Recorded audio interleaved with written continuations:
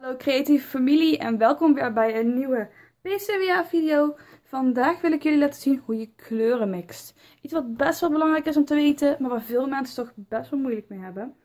Ik ga jullie leren hoe je met deze vijf tinten en kleuren in principe iedere kleur kan maken die je maar wilt. En eigenlijk is het niet heel moeilijk, zolang je de basisbegrippen maar in je hoofd hebt. Ik heb dit acrylverf bij de Action gekocht. Ook dit heb ik bij de Action gekocht. En ik heb ook een kwast natuurlijk klaar liggen. Een potje met water om de kwast schoon te maken. En een tegel waar ik het op kan mengen. Zo. In principe zijn er drie basiskleuren waar je alles mee kan maken. Dat is dus rood. Geel. Vaak wordt rood ook aangeduid als uh, magenta. En blauw. Dit zijn de drie primaire kleuren. Nou, deze drie primaire kleuren worden aangevuld met zwart en wit. In principe zijn het geen kleuren, maar het zijn tinten. In ieder geval een combinatie van, maar om dingen te mengen. Als je dan bijvoorbeeld geel met rood mix, krijg je oranje. Dus vrij basisschool om dat te weten, maar ik ga jullie toch even stap voor stap uitleggen. Dus krijg je oranje. Goed mixen. En dan lang van hoeveel je, hoe meer rood je erbij doet, of hoe meer geel je erbij doet, hoe warmer of hoe kouder het wordt. Zo. Schoonmaken. Als we dan dus geel met blauw mixen, krijgen we groen.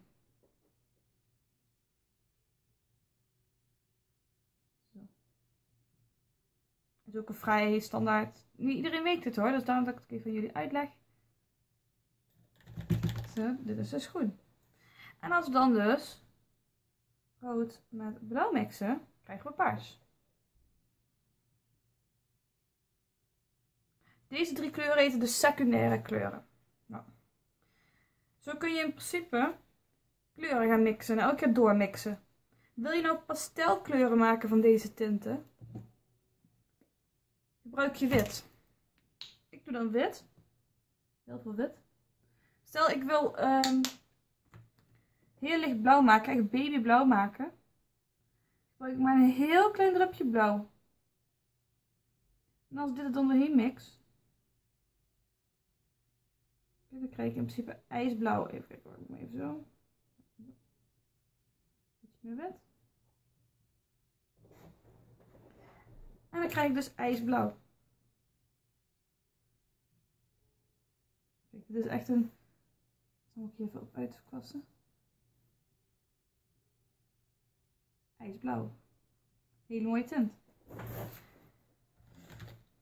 Om roze te mixen, iets wat ook vrij veel babyroze, gebruik ik een beetje rood met wit. En dan heb je best wel veel. Rood is een hele sterke kleur, dus heb je heel veel wit voor nodig om een uh, zachte kleur te krijgen. Een beetje meer erbij.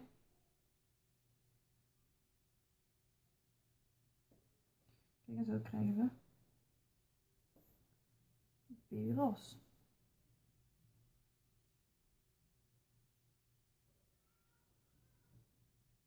Kijk, dan heb je in principe basistinten. Als je kleuren wil hebben die elkaar versterken, dat heet de complementaire kleuren. Dan heb je bijvoorbeeld geel en paars. Kijk, als je geel en paars namelijk naast elkaar zet, versterken ze elkaar. Dat komt omdat de twee kleuren hiermee gemengd, hier tegenover, die, die geven elkaar een scherpe kleur af. En dat is zo met iedere kleur die tegenover elkaar staat. Dus dat is ook met blauw en oranje. En groen. En rood. Die kleuren die versterken elkaar. In principe. Dus je hebt dus de primaire kleuren, de de secundaire kleuren en daar kun je gaan uitbouwen. Nou, om grijs te krijgen, iets wat vrij ook veel gebruikt wordt, is het ook gewoon een kwestie van zwart met wit mixen.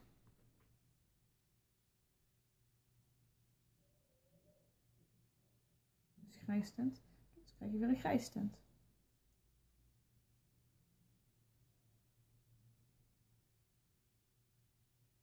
in principe zijn dit dus de basiskleuren vanuit je iedere kleur kunt gaan maken. Stel ik wil ook taupe hebben, iets wat ik jullie veel vaker heb laten zien. Ga ik wit mixen. Dan moet ik even wat meer wit pakken. Taupe is een hele moeilijke kleur om te mixen. Vindt iedereen altijd heel erg moeilijk. Maar moet het maar net even weten. Als je bruin wil maken, dat is als eerste wat je nodig hebt. Pak gewoon groen. Met wat rood. En dan wat meer groen als rood in principe. En dan kun je bruin maken. Het kan wel soms moeilijk zijn omdat... Er is nu geel erbij. En daar komt de bruin. Dan hebben we een beetje een bruin tint. Nou, dat is stap 1. Dit is echt een bruin tint. Als ik ook taupe wil gaan maken, iets wat ook heel erg veel gebruikt wordt in het schilderen, pakken we de spit en een beetje bruin. En zelf voeg ik er ook een beetje zwart toe. Om die, die ondertoon te krijgen, dat, dat, dat is grijze ondertoon. Dus in principe is het alle kleuren samen met een beetje zwart en wit. Kijk, en dit is echt een toopkleur.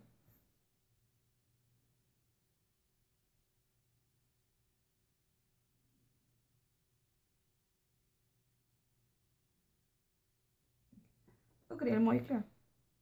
En dan kun je dus warmer of kouder maken, naar gelang je er meer bijvoorbeeld wit bij doet. Dan wordt het dus lichter. Dan lijkt het wat meer op de deco verf van de Action. Goed heb. Zo.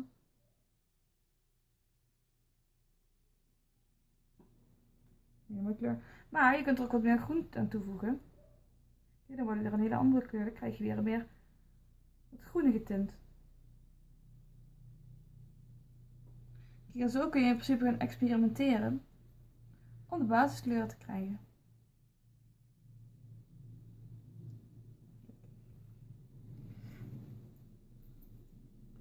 Wat ik zelf vooral ook altijd zeg is, experimenteer gewoon. Pak een keer een tegeltje, pak een keer wat verf. En ga gewoon wat kleuren door elkaar heen mixen. Bijvoorbeeld een hele lichte lila kleur. Dus dit is dus wit met paars. En dan krijg je een lila tint. En zo ga ik kleurenstudies in principe doen. En dan ga je kijken van nou wat geeft welke kleur bij elkaar. En zo kun je super mooie effecten krijgen. Zonder dat je veel verf verspilt. Kijk, zoals je ziet, we hebben al heel veel kleuren gemaakt. Nou, in principe is dit de basis van hoe je dingen gaat opbouwen van kleur. Hoe je dingen kan maken van kleur. En hoe je het elke keer donkerder en minder donker kan maken. In principe als ik hier elke keer al rood aan toe zou voegen. Dan wordt het in principe steeds dan wordt het dus warmer van kleur. Krijg je een meer aubergine kleur.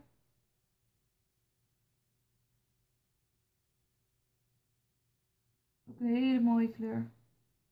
En in principe hebben we nou tot nu toe steeds maar vijf kleuren gebruikt. Hè? Dus we zijn nog steeds maar met dezelfde vijf kleuren bezig om al deze tinten te maken. Ik ook een hele mooie kleur.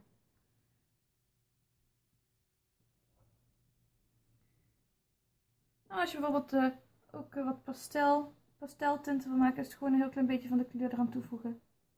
Dan wat uh, limoenige kleur maken.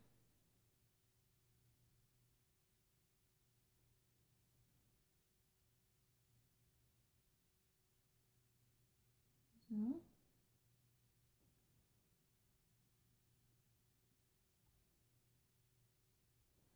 Kijk, zo hebben we toch al heel veel tinten gemaakt. Nou, ik hoop dat jullie wat geleerd hebben van deze video. Dus hoe je eigenlijk van een paar basiskleuren eigenlijk heel veel kleuren kunt mengen die je wilt. Ik een beetje van dichterbij laten zien. Dus in principe om het jullie het nog makkelijk uit te leggen. Je hebt dus de primaire kleuren. Dat zijn deze drie kleuren. Als die met elkaar mix, dan krijg je dus de secundaire kleuren. En dan kun je met, door ermee te gaan spelen van wat mix doorheen. Bijvoorbeeld als je zwart doorheen mixt krijg je sterkere kleuren. Als je wit doorheen mixt krijg je een pasteltint. Dankjewel voor het kijken naar deze video en ik hoop dat jullie er iets van geleerd hebben. Wil je nog meer leren over kleuren mixen? Ik vertel je het gewoon uit mijn eigen geheugen, wat ik vroeger geleerd heb. En ik kan nog wel wat meer opzoeken van tinten. Zijn er bepaalde tinten die je wilt zien? Laat me dan even weten. Ik wens je een hele fijne dag en onthoud jongens, be unique!